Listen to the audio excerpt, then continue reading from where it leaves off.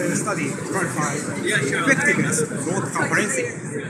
Robot conferencing has uh, mainly two features. Uh, first, it transmits conversation patterns body motions. And second, uh, these motions are physically embodied by a robot.